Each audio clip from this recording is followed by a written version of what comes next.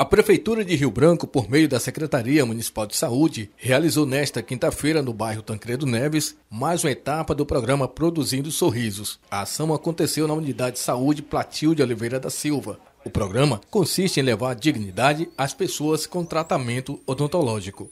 A prioridade é a saúde bucal dos rio-branquenses. Para isso, oito vans foram adquiridas, com recursos próprios da gestão, e outra parte fruto de emenda parlamentar do senador Márcio Bittar. Cada van está equipada com toda a estrutura e equipamentos odontológicos, capazes de proporcionar pequenas cirurgias e tratamentos dentários aos pacientes que procuram atendimento.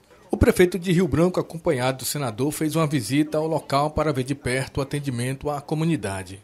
Para Rosa Gomes, que foi atendida em uma das vans do programa, é algo maravilhoso o que o prefeito da capital está fazendo. Eu achei muito maravilhoso o que o Bocalão fez, porque os outros nunca fizeram isso e estou gostando do trabalho que ele está fazendo. Que Deus abençoe ele, que ele continue fazendo, lembrando dos pessoal carente que está precisando. Que Deus vai abençoar ele mais ainda.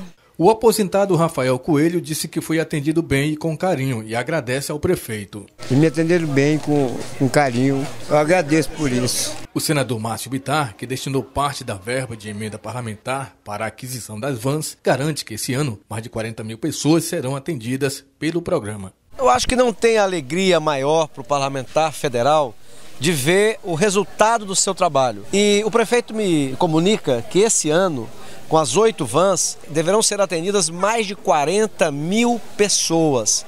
E é bom lembrar que essas 40 ou quase 50 mil pessoas que serão atendidas esse ano são pessoas humildes que não têm recurso para pagar uma conta dessa, né, para ir no, no, no, particular. O prefeito de Rio Branco, que visitou o local dos atendimentos no bairro Tancredo Neves, garante que a população da zona rural também será beneficiada pelo programa.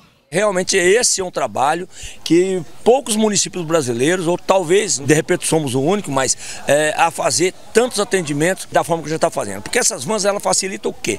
Tanto aqui na cidade, mas principalmente na zona rural. E isso nos deixa felizes, porque é o nosso projeto, dentro do projeto nosso de gestão, né, e que o senador Márcio Bittar, como parceiro que é de tantas outras ações do município, é também dessa ação aí que eu acho que é humanitariamente muito importante.